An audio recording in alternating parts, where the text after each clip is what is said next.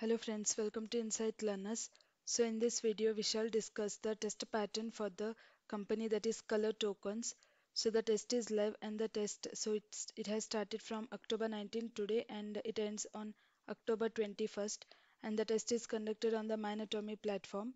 So the total duration of the test it is for 2 hours and the section so there are three different sections so total sections are 3 so we shall see all the different sections. So the first section it is aptitude and analytical. So there will be 10 MCQ questions which you need to answer in 15 minutes. So within that section there are two different subgroups. So the first is aptitude in which there will be 3 MCQ questions and the second one is analytical in which there will be 7 MCQ questions.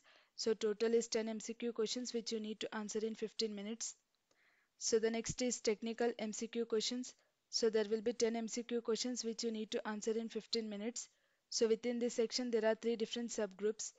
So the first one is data structures in which there will be five different MCQ questions and the part B that is uh, the second within the section 2 so the part B it is operating system MCQ questions there are only two MCQ questions under operating system and the third one is networking. So there will be three different MCQ questions. So totally there are 10 MCQ questions in technical part.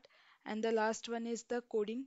So within this there will be three different coding questions from the simple to the complex and the duration of the coding section. It is 90 minutes. So within 90 minutes you need to code for three different questions. You can choose any of the coding questions. You can choose any of the coding language you prefer so this is all about the test pattern for the color token so you can go to the test pattern and prepare on the same Thank you friends for watching and do subscribe our channel for more updates.